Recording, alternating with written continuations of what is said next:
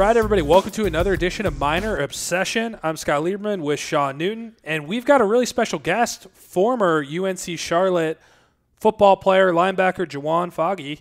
Juwan, welcome to the show. Thank you for having me. Uh, I'm ready to give you guys some insight. So, generally, before we dive into current state stuff, we like to give fans a chance to hear about where players came from. You know, you came to Charlotte, we loved watching play on the field, but not every fan gets to know where you're from and how you got into football. So, why don't we go back to growing up? Where did you grow up, and uh, how'd you get into football? Um, I was born in Greensboro, North Carolina. After I was born, we stayed in Greensboro for about two or three years. We stayed in Greensboro for about five years, actually. And then we moved to High Point. And uh, once I moved to High Point sports, that's when it really became a part of my life. So I could acclimate with new friends and stuff in the city. And um, I picked up rec, rec league football and just went on from there. Were you always a wide receiver growing up? Uh, nah. Early on, I played. I actually played every position on the field. Actually, so I started. I first started off and played offensive guard and center. Then I went to fullback. Then I played running back sometimes. Middle school, I played linebacker. That's where that defensive side came out of me. So, going into that transition from high school to college, Charlotte was still a fairly new program when you were getting recruited. What what made you choose Charlotte, and how was kind of that selling pitch from Coach Lambert or whoever was recruiting you specifically? Just having an opportunity to come in and um, actually be a part of history, since it was an early program and everything that was going to happen while, while I was there was going to be history going in the books. So that was really like a big thing in my head because I wanted, after I left, to be remembered as my legacy. So I don't think there's there, there's a ton of of people who have a bunch of athletic ability and are capable of playing multi sports, but you don't hear of too many college level athletes who make such a big transition like you did. And I'm not even sure how many fans realize that that happened. But your first two years, wide receiver, had some good numbers there. And then your last two years playing with the team, you, you decide to swap over to the other side of the ball and play linebacker how did that come about? Were you in the off season just thinking, "Hey, maybe I could make a bigger impact over on the other side of the ball"?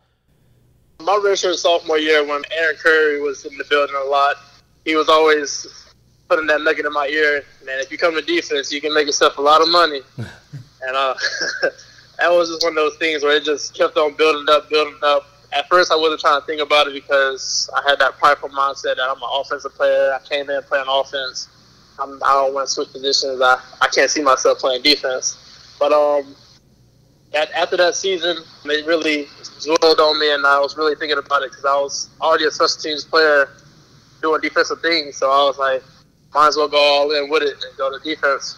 Sure. Can you can you talk a little bit about the difference in offense and defense? What do you enjoy more? I'm guessing you're going to lean towards defense now that you're you're kind of doing it at the next level. Yeah, I'm leaning towards defense now. you still get the opportunity to catch the ball, so that's not changed. But um, having that having the ability to make an impact play on the game, like if I'm getting the ball on defense, that's really game changing and increases the chances of winning the game. So just having that ability to impact a game on one play is huge. Speaking of impacting plays, you were third in the country with six interceptions last year, finishing out your your senior season. So you definitely made a huge impact. How how did that feel? What was was there anything you did differently coming into the 2018 season to really set you up for success in that interception, defense being taker type role there? Uh, it was a lot of help Coach Glenn Spencer. His scheme put me in the right place at the right time, and it all came down to me actually catching the ball in most cases. And a lot of film work him on my behalf. This season, I watched the most film that I've ever watched out my years in college, and the results showed and showed what it still can do for you. Did you notice other players on the defensive end trying to do wide receiver drills? Were they jealous? Like you had that kind of base core competency there? Yeah, I, I got uh, Ben DeLuca to get on the jugs a lot more. Had these on me catching the ball. I like seeing the uh, spring game, the offensive line and defensive line try and take those punts. That's my favorite part to see people who don't normally uh, catch balls trying to catch balls. Oh, yeah, that's a classic. Let's talk about Lambert transitioning out of Charlotte and Will Healy coming in. Have you had a chance to uh, catch up with any of the new coaching staff? And what are your thoughts there? Do you think we're headed down a, a path to continue to build on the foundation you helped lay?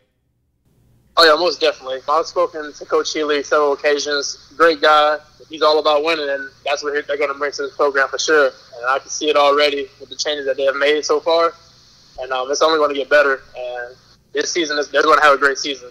With the players they have and the coaches they have in the building, and that energy that's around that team, there's nothing but greatness to come out of that. Who's your defensive player to watch next season? You got somebody that in in mind that you think is really going to take a step forward for us next year? Uh, Highsmith, of course, is going to be that guy. He's going to be the guy that everybody around the country is going to hear about at the end of this season. Ben Luke is going to do his thing, of course. Jeff Gilmore is the leader of that defense. Uh, Anthony Butler, his last season.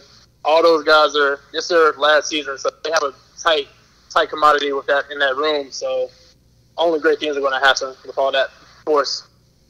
Do you see us moving to top ten in the country in defense since we were so close last year? Oh yeah, it's it's going to be repeated. I love it. So it sounds like you're still in communication with the university, and you know, depending on everything works, hopefully still be involved with with the team in some capacity over the next couple years. Oh yeah, I will be. I, uh, UNC Charlotte has a special place in my heart. They gave me an opportunity to go to college and play football, so I'll be forever grateful for that opportunity, and I can do. I'll do whatever I can do.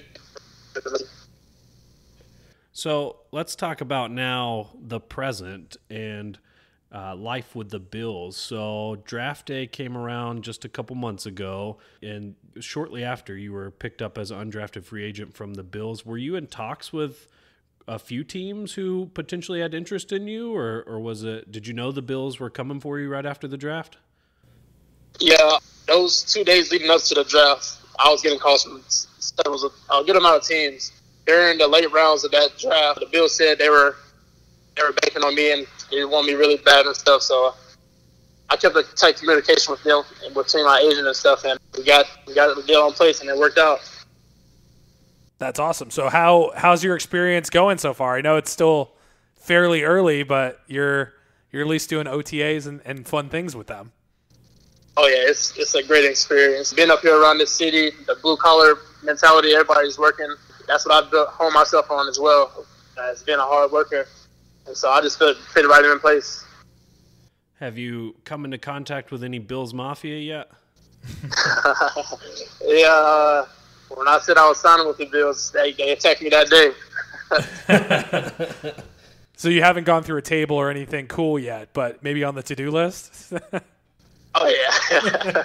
now, now signing with the Bills and going through that undrafted free agency, have you talked to any former Niners? Like we had Austin Duke on the the podcast a few months ago, who was probably one of the first people to go through that process as a as a Niner. Have you gone to him or anyone like that to to get some help on on this transition? Oh yeah, um, all the guys that's been in this position actually. I've talked to Dozer, Brandon Banks, Austin Duke, Larry, I've all picked up little nuggets from them and try to put it into myself to carry over to help me stay in this position that I am in right now. Anybody on the Bills defense that's really stood out as a, a good mentor that you've kind of hooked and really connected with over OTAs to, to help you make the team? Definitely uh, Lorenzo Alexander. His, his story is remarkable from being an offensive lineman, making a defensive change he used to be offensive lineman, played D line. Now he's playing linebacker. It took him to year 10 or 12 to actually be a starter on defense. So his story is like, that's like, uh, I'm just trying to get anything I can get from him at this moment. Tremaine, he's a great guy. He's still young, just like me. He's learning everything, and he's a good guy to pick up rookie tips from. Matt Milano, he's a linebacker as well. And I just pick up everything I can from those guys, just ask tons of the questions. That's awesome. One other thing for you is you've made the transition from high school to college. You overcame the obstacles and and transitioned from offense to defense, and now you're, you know, you're trying to make a team.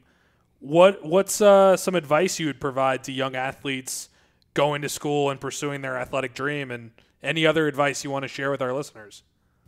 If you have that dream, go for it. Because being in the NFL, being at this place where I am right now, that was my dream since day one, and um, I wasn't gonna let nothing stop me from getting there.